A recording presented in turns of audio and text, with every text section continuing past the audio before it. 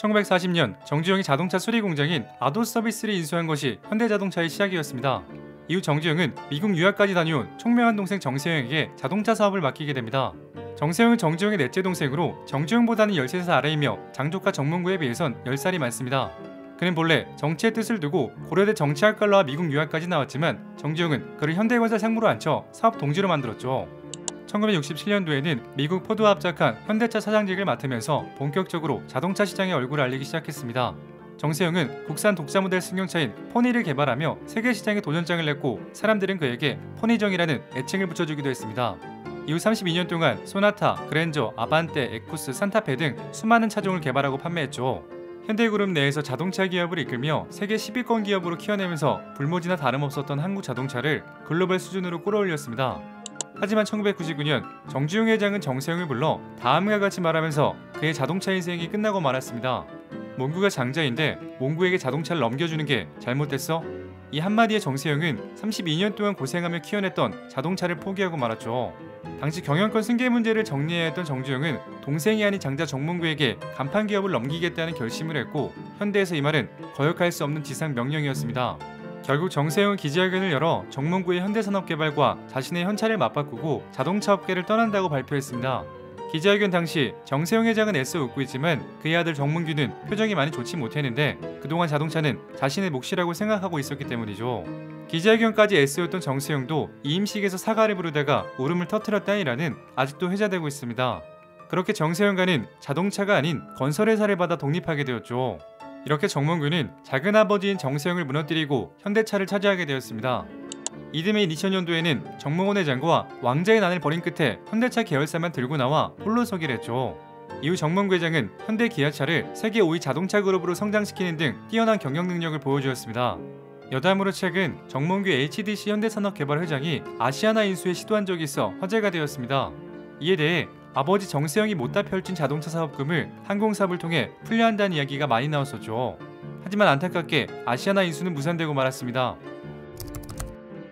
정희선은 정몽구 회장의 외동 아들로 1970년도에 태어났습니다. 어린 시절부터 할아버지인 정지용 회장과 아침 식사를 같이 했는데요. 현대가 전통의 밥상머리 교육을 엄하게 받았다고 합니다. 정 회장은 오전 5시면 청운동 자택으로 자식들을 오게 하여 아침을 함께한 사실은 꽤 유명한 일화인데요. 아무리 바빠도 아침은 함께 먹는다는 원칙으로 가족을 하나의 꾼으로 묶고자 했습니다. 이렇게 아침 식사를 하며 인성과 기본 예절도 가르쳤는데 주변 사람들이 너무 심하지 않냐는 충고를 들을 정도로 자녀 교육이 엄격했다고 하죠. 그 덕분인지 최근 지속적으로 이슈가 되고 있는 오너가의 갑질 사건에서 현대가 사람들은 자유로운 편입니다. 물론 몇 사람을 제외하고 말입니다. 정의선은 밥상머리 교육 덕분인지 재벌 3세인데도 겸손하고 예의 바르다고 칭찬이 많았을 뿐 아니라 그룹 번호 후계자 중 가장 좋은 평가를 받기도 했습니다. 정지용 회장 또한 어리지만 영특했던 정의선을 보고 물건이라며 중책을 맡을 것이라고 칭찬했다고 하죠. 이뿐 아니라 정주영은 손자 정희선을 너무 아낀 나머지 그가 고등학교 때 함께 살았다고 하는데 정희선은 당시를 다음과 같이 기억했습니다. 고등학교 때 할아버지와 살았는데 매일 아침 5시 할아버지 기상 시간에 맞춰 아침 식사를 했다. 그때 수차례 말씀하시기를 시류를 따라가야 한다고 하셨다. 당시에는 그 말을 이해하지 못했는데 이제는 의미를 약간 알 것 같다.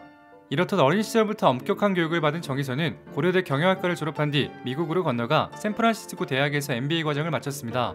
당시 유학을 결심한 건 역시 영어 교육의 중요성을 강조했던 정주영 회장의 권유로 알려졌죠. 군대는 가지 못했습니다. 현대가는 보통 남자들을 군대에 보냈고 아버지 정문구 또한 육군 병장으로 만기제대했습니다. 정희선은 담낭 절제수술이라는 큰 수술을 받아 면제받았는데 모친으로부터 물려받은 가족력의 가능성이 높다고 합니다. 2009년 어머니 이정아 여사는 담낭암으로 별세하셨습니다. 그리고 미국 유학 중 현재에 하는 정지선을 만났습니다. 서울대학교 음악대학을 졸업한 정지선은 삼표그룹 회장의 장녀로 오래전부터 정희선과 인연이 있었다고 하죠. 삼표그룹 정도원 회장과 정명구 회장은 경복구 선후배 사이였고 정지선의 사촌 오빠는 정희선과 중고등학교 동창이었습니다. 하지만 정희선과 정지선 두 사람의 결혼 과정은 순탄하지 않았습니다. 두 사람의 성이 같았고 현대백화점 회장과 그녀의 이름이 같았기 때문입니다. 성이 동일하면 같은 가문의 사람이라는 인식 때문에 모두가 반대했지만 유일하게 지지해준 사람이 바로 정지용 회장이었죠. 현대가에서 정종 회장이 승낙하면 끝이었습니다. 동성동본이 아니라는 판단하에 흔쾌히 결혼을 승낙했고 둘은 1995년도에 결혼식을 올렸습니다. 이렇듯 많은 반대를 해치고 결혼한 두 사람은 남다른 금수를 자랑하고 있는데요. 정 여사는 공식 석상에도 자주 얼굴을 드러내고 출장을 마치고 돌아오는 정 회장을 직접 마중 나가는 모습을 보여주기도 했습니다. 여담으로 삼표그룹은 화려한 혼맥으로 유명한데요. 찬녀 정지효는 박터진 포스코 회장의 아들 박성빈과 결혼했고 아들 정재효는 LS 니코의 장녀 구윤희 씨와 결혼했습니다. 정희선 회장이 가지지 못한 것이 하나 있는데요. 머리숱이 부족합니다. 아버지 정문구가 80대의 나이에도 머리숱이 풍성한 것과는 대조적인데요. 비교적 젊은 시절부터 탈모가 진행되었다고 하죠. 현대의 탈모 유전자는 포니정 정세영 쪽에 있는데 희한한 것은 정지용의 손자들 때에서 탈모가 보이기 시작했습니다. 정희선은 물론 정일선, 정경선, 정기선도 나이대에 비해 이마가 넓은 편입니다. 그 밖에 재벌가에서 탈모로 유명한 사람은 하나그룹 김승현, 김동관, 두산 박수원 등이 있습니다. 삼성 이재용 부회장도 탈모로 의심을 받고 있는 상황이죠. 잘은 모르겠지만 재벌가에서는 아무리 탈모가 와도 치료를 하지 않는다고 하는데 탈모약 자체에 부작용을 상당히 꺼린다고 하죠. 대표적인 부작용은 성욕 감퇴나 어지럼증으로 많은 후계자들이 필요하고 워커홀릭형 오너 일가들에게는 상당히 치명적인 문제라고 합니다. 정희선은 1999년 현대차 상무이사로 경영 수업을 시작했고 2020년도에 현대차 2대 회장으로 취임하였습니다. 동시에 가문과 역사를 상징하는 할아버지 집을 물려받으면서 정희선 시대가 개막했음을 알렸습니다. 많은 사람들은 그의 경영 능력에 대해서는 의심하지 않았습니다. 일례로 지난 2017년 청와대 민정수석실 캐비넷에서 박근혜 정부 시절의 문건이 발견되어 화제가 된 적이 있는데요.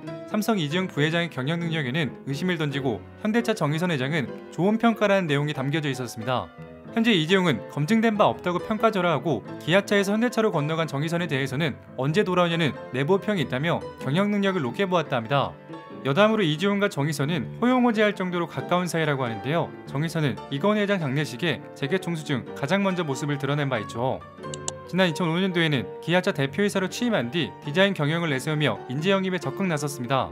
첫 시작은 유럽 3대 자동차 디자이너 피터 슈라이어입니다. 피터는 자동차는 두 번째 집이다라고 말한 세계적인 디자이너로 아우디에서 일을 시작하고 이후 폭스바겐 총괄 디자이너로 이름을 날린 인물이죠. 정의선은 직접 독일로 날아가 설득하는 삼고초려 끝에 피터를 기아차 디자인 총괄 부사장으로 영입하였습니다. 첫 결과물은 K5로 국내외적으로 디자인상을 휩쓸며 높은 평가를 받았죠. 지금도 K5는 역대급 국산차로 불리며 특유의 스포티한 디자인으로 호평받고 있습니다. 이와 함께 기아차 특유의 family look 호랑이코를 만들었고 이는 기아차의 상징으로 자리 잡았습니다. 흥미로운 점은 호랑이코 그릴이 트럭인 봉고3 차량에도 입혀져 있다는 사실인데요. 이는 기아차가 호라이코 패밀리 룩에 얼마나 애정을 가지고 있는지 느낄 수 있는 부분입니다. 또한 2015년 프리미엄 자동차 시장을 공략하기 위해 출범한 제네시스 브랜드는 정의선 회장이 직접 진두지휘했다고 하죠.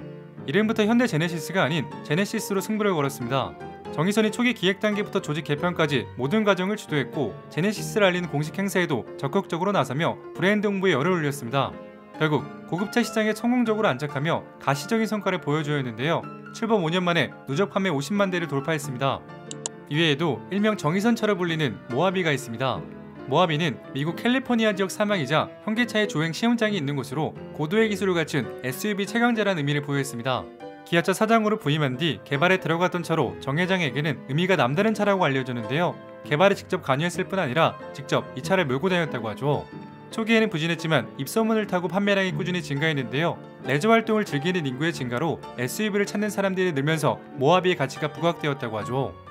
반면 PYL 개발을 주도했지만 저조한 실적을 거두기도 했습니다. PYL은 Premium Younique Lifestyle로 젊은 고객층을 겨냥해 만든 브랜드인데요. 벨로스터, i30, i40 등으로 구성되어 있습니다. 젊은 층을 겨냥해서인지 벨로스터 신차 발표를 홍대 클럽에서 열었는데 가수 싸이, 이병헌 등이 참석했다고 합니다. 이렇듯 홍보는 많이 했지만 판매량은 부진했는데 오죽하면 PYL을 P, 팔리지 않는 Y, 양산차, L, 라인업이란 말까지 들었습니다. 현재 정의선은 자율주행, 수소경제, robotics, 도심 항공 모빌리티 등 4대 신사업을 내세우며 아낌없는 투자를 이어가고 있습니다. 미국 자율주행 기업 앱티브와 합작법인 모셔널을 만들었고 완전무인 자율주행차 아이오닉5 robotaxi를 공개하기도 했습니다. 2020년도에는 세계 최고의 로봇 기업인 보스턴 다이내믹스를 인수했는데 투입된 비용은 1조 원대로 정 회장 취임 후 가장 큰 규모의 M&A였죠. 정 회장은 재벌 3세 중 뛰어난 경영 능력을 지니고 있다는 평가를 받고 있습니다. 기아차 사장 취임 후에는 디자인의 기아라는 아이덴티티를 규정하여 인수 직후 골칫거리였던 기아차를 형님인 현대차 못지않은 위상으로 끌어올렸습니다. 현대차로 와서는 고급 브랜드 제네시스의 성공적인 론칭을 주도하기도 했죠. 앞으로의 현대차의 미래를 응원하며 이야기 마치도록 하겠습니다.